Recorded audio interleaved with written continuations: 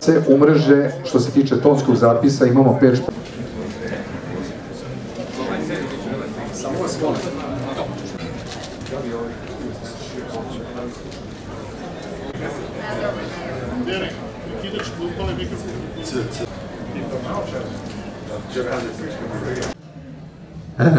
decembra 1996. godine, kad ste prvi put zakoračili u redakciju politike, u tu sportsku redakciju, pa da li evo sada posle te Svakako da tada nisam mogao da budem uh, svestan toga, ali sam zaista shvatao kao jedan veliki izazov uh, svoju prvu priliku kad sam s njim imao, kad sam se s njim sreo i kad smo razgovarali na aerodromu u Beogradu posle jednog velikog takmičenja. I znao sam nekako da ako budem blizu Bore Stankovića, da ću biti blizu dobrih ideja, blizu znanja i da ću imati šansu za, za, za lepu karijeru i da nešto naučim uh, od gospodina Bore Stankovića imajući u vidu šta je on sve bio u košarci. Uh, to je bila neka od prvog dana neka moja i misija i doživao sam kao veliku privilegiju to što sam uh, posle svih ovih godina postoji njegov prijatelj i što mi je dopustio da budem njegov prijatelj. Poštovani, poštovani prijatelji, e, hvala vam pre svega što ste u ovolikom broju e, danas sa nama. Upravo tako, samo ime i životna biografija gospodina Borislava Stankovića zaslužuju naravno ovakvu knjigu i ne samo jednu, već i mnogo ovakvih knjiga. Rekao bih da svaka dobra knjiga, baš kao i svaka utakmica, ima svog junaka. A ova knjiga koju danas predstavljamo ima pak dva glavna junaka. Jedan je gospodin Borislav Stanković, a drugi je sama košarkaška igra. Životni put tih junaka je toliko izukrštan, toliko organski povezan, da naslov knjige nije mogao biti drugačiji nego što jeste. Zato je i život gospodina košarke zapravo život košarke. Zato je ova dvojezična fotomonografija, osim što je knjiga o našem najvećem sportskom funkcioneru, u isto vreme i dragocen prilog za istoriju srpske i za istoriju svetske košarke. Prilog iz kojeg će se, ubeđen sam, o usponu i o razvoju ove fantastične igre sve do istinskog globalnog fenomena, društvenog fenomena kakav je ona danas, obaveštavati i vaspitavati ne samo naša generacija, već i generacije koje dolaze. E, dobar dan. Dobar dan pre svega. E, drago mi je stvarno što sam ovde. E, prvo da odgovorim na pitanje, ovaj, a to je da, mislim, Čikabora je, nisu nas baš nešto mnogo ni volili, baš zbog Čikabore, ili su mislili ovaj, da Čikabora nas protežira, što, što nas je u stvari protežirao i bili su pravu mi smo direktno ovaj to je stvarno tako. Ovaj bile su bile su teška vremena pogotovo 90. godina. Po meni najbitnija stvar jeste da koja je potekla, odnosno da nije bilo Čikabore, verovatno ni mi ne bi došli u staciju da osvimo tu medalju 95. u Atini, a to je da su, ba, ja ću da kažem ovako plastičnim jezikom, izmišljene neke kvalifikacije za, u Bugarskoj i ovaj bili smo prisutni na evropskom prvenstvu. Uh, to je bilo, bilo direktno to je jedna od stvari, ima mnogo drugih stvari ovaj ko, koji su koje su direktno vezane, koje su direktno vezane za pomoć. Naravno, uh, pre je to bila jugoslovenska košarka, pošto je bila srpska košarka. Tako da ja u ime u svoje ime, u ime mojih kolega ovaj želim još jednom ovako javno da se zahvalim posle toliko godina Čikabori. Čikabora ja nismo se nismo se baš uvek nešto slagali oko nekih stvari, ali pošto ovde svi pričamo prelepe stvari, mada mislim da je ovo isto u redu, ovaj, da, da nismo se nešto slagali previše oko nekih stvari, ali s moje strane nije moglo ništa da bude nego veliko, veliko, ogromno poštovanje, kao što je bilo, kao što jeste sada i kao što će biti svo ovo vreme. Meni je veoma drago što sam bio toliko godina u blizini Čikabore u, za vreme mog uh, biti sanja u FIBA Evropi, osam godina, tad smo se i družili baš češće i mogu da vam kažem da sam dosta stvari naučio od ovog gospodina. Pa ja mislim da jesmo. E, to pokazuje ova knjiga a, i trud koji ulažu svi ljudi, pre svega zaposleni u Košarkaškom savezu i u mnogim e, prilikama smo isticali. Oni ljudi koji se ne sećaju i ne razmišljaju o prošlosti nemaju ni sadašnjost, a pogotovo nemaju budućnost. E, želeo bih zaista samo da se pre svega zahvalim gospodi Roganoviću i Miletiću na trudu koji su uložili u, pisanju ove zaista predivne knjige, a posebnu zahvalnost gospođi Jeleni Trivan koja je na jedan telefonski poziv odreagovala, prepoznala značaj ovakve jedne ideje i jedno veliko hvala i, i vama i svim zaposlenim. Pre svega, a, zaista je bit, velika čast a, biti u društvu ovako jedne velike košarkaške srpske i svetske e, legende i nadam se da ćemo, tu mislim na Čikaboru i nadam se da ćemo još dugo, dugo godina biti u prilici da budemo sa vama Čikaboru. Prva, prva, prva nije, ali je možda najznačajnija i najsveobuhvatnija, a po opremi i po predstavljanju, kako sam ja barem video od juče do danas, jer sam imao prilike samo da je vidim juče uveče, mislim da je jedna od najlepših knjiga koju sam ja ikada imao i doživeo. Kažite mi, bravo, dobro, može, može. Hvala. To je pitanje na koje može se reći nije moguće odgovoriti. Jer život je takav da svako od nas može da piše knjige, piše romane o svome životu, o, o zbivanjima u svome životu i o uticajima raznoraznih faktora na razvitak toga života. Tako reći da, mi, da, da su tri ili četiri ili pet knjiga dovoljne ili su, ili su ili nedovoljne za opis i predstavljanje nekoga čovjeka kroz knjige, mislim da, da je to jako teško reći i da treba jednostavno čitati ono što je napisano i memorisati ono što je važno. A to je dvostru, dvostruko ili trostruko pitanje ako hoćete. A u, u, u početku sigurno da nisam mislio ni pomišljao, niti uopšte sanjao o tome da bi košarka mogla da bude moj život i da bi košarka mogla jednoga dana da postane ono što je, što je danas. Jedan od najvažnijih i najvećih sportova u čitavom svetu.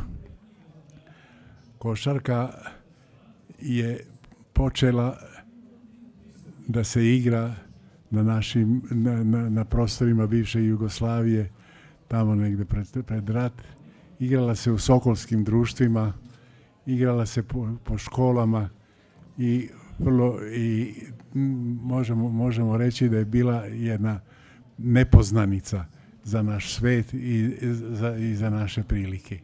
A i u to vreme košarka nije bila ni, ni svetski sport, jer se igralo uglavnom u Sjedinjenim američkim državama i u ostalim državama Južne, Južne Amerike i Srednje Amerike. Prodor Amerike, prodor u, u stvari američkih trupa u Evropu da pomognu e, da se, Evropi da se, oslobo, da se oslobodi nacističkog jarma je bilo je bio povod i ako hoćete impuls glavni za razvitak košarke u Evropi jer su košarku doneli američki igrači, američki marinci koji su igrali i koji su zarazili tako reći tadašnju, tadašnju omladinu sa košarkom koja je tada već imala jedne, je, jedan primjer za ugled kako su igrali ti Amerikanci koji su tada dolazili, dolazili u Evropu. Po svojoj biti igra koja oduševljava sa neizmeničnim rezultatima, sa neizvesnim ishodima. Igra koja a, menja sliku, ako hoćete, či, čitave či, či, jedne, jedne utakmice u, u roku od, od, pet, od pet sekundi je morala da privuče, da privuče ljude. Da privuče posebno našu omladinu. I ne našu omladinu, nego omladinu celo, celoga sveta. Tako da je košarka sama sebi svojom biti i, i svojom i, i, i s, s, svojom e, prirodom na neki način otvorila sama sebi put. Posle su došli naslednici koji su gurali tu novu igru, tu taj novi sport koji je naišao na fantastičan prijem i danas košarka je svetski sport koji jedino posle futbala može da se bori za neku medalju, ako hoćete, srebrnu u popularnosti sportova u svetu. Put. Pa, ja ne znam ka, kako bih mo, mogao da dam ocenu u tome da li je dobar pravac ili dobar put. Ako su rezultati koji su postignuti sa reprezentacijom neki pokazatelj, onda je to fantastičan pravac i fantastičan put. Ako, ako su razne smetnje u razvoju koje su više organizacione prirode i koje više duguju e, ljudima koji vode, koji vode košarku i njihovim zlim namerama, onda nije na dobrom putu.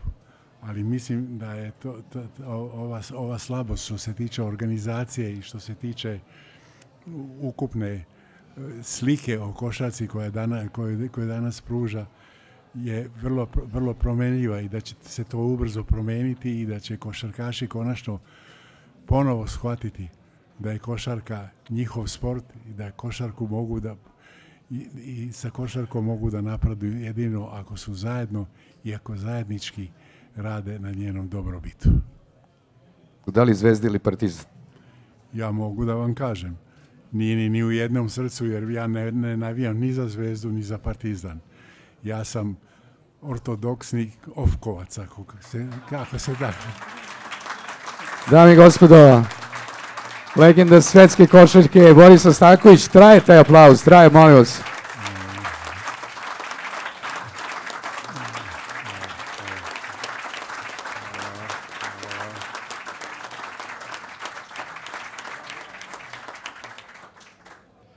ja sam nekako, kada sam počeo, upravo me gospodin Miletić upoznao sa gospodinom Borom Stankovićem i od tada, tada sam bio momčić, imao sam 50 nešto godina kada smo počeli da sanjamo o, o ovom filmu koji smo želeli da napravimo. Od tada do danas pamtim ne samo sjajne priče i sjajan duh i tu energiju koju je imao Bora, nego pamtim njegov osmeh. I evo i sada, sedeći ovde i slušajući ga, divim se tome. Divim se zaista, e, čini mi se da od Bore možemo naučiti jednu izuzetno važnu stvar. Mogu se oni svađati u Savezu, mogu ne misliti na isti način, to uvek dođe do nečega što može biti dobro. Ali čini mi se da ceo svoj život i svoju energiju koju je uputio i svim mladim legendama košarkaškim do danas, je možda nešto što je najvažnije za buduće generacije. Ja mislim da je možda, znate, danas se košarka meri koliko ste imali dobrih akcija, jeli, koliko ste ubacili koševa, koliko ste imali skokova, kakvi ste bili u odbrani. Njihova generacija je to merila na jedan drugi način. Ona je to merila srcem, merila svojom željom i svojom neverovatnom željom. Znate, oni su tada u tom trenutku košarka ni u Srbiji ni u Jugoslaviji nije postojala. Oni su uspeli da veruju i uspeli svojom snagom da dođu do toga da mi danas pričamo o svetskim prvenstvima, da nam je malo krivo ako baš ne, ne osvoje svako, ali Jugoslovenska škola košarke i srpska košarka je najveća, jedna od najvećih na svetu i to zaista zahvaljujući ne samo Boris Stankoviću, nego i njegovim drugarima, i Nebojši Popoviću, i Aleksandru Nikoliću, i E, gospodinu Žeravici i e, dakle Raši Šaperu i ja sam nekako praveći taj film uživao u njihovom prijateljstvu i u njihovoj snazi i neko ta snaga se prenela i ja prenosim tu snagu mojim studentima. Tako da, a negde sam sa Željkom Obradovićem pričao kako u stvari igrači, košarkaši liče na glumce, a kako su treneri reditelji. On ima sjajnu teoriju o tome. I ja mislim da, da je to u stvari ta snaga i tu energiju koju sam dobio snimajući ovaj film i dobio poznavajući gospodina Boru Stankovića, sa takvim osmehom prenosim i na generaciju reditelja. Imaćete dobre filmove, a siguran sam da ćemo već sledeći put biti prvaci sveta. Hvala vam veliko. E, Dr. Jelena Trivan je direktor službenog glasnika. Izvolite, Jelena. Poštovani gospodine Stankoviću, Čika Boro, želim za kraj da vam kažem nekoliko reči. I vi i ja potičemo iz malog naroda koji ima mnogo legendi. Ono što je naša zajednička sramota, to je što nismo umeli uvek da kažemo njima hvala, i to za života, i to na vreme. Nisam siguran da imam, sigurna da imamo isto toliko gospode. I hvala vam što ste bili gospodin u sportskom svetu i hvala vam što ste proslavili ne samo košarku, nego sve nas i naše ime. Ja hoću na jedan specifičan način da vam se zadužim. U spisateljskom svetu među piscima postoje ljudi koji na drugi način proslavljaju naše ime. Ime Srbije. Oni su se danas potpisali na košarkašku loptu, svi naši srpski pisci, živi i savremeni, kojom ovim zajedno sa mnom poručuju da su vam zahvali na svemu što ste za života za nas sve uradili. Hvala vam.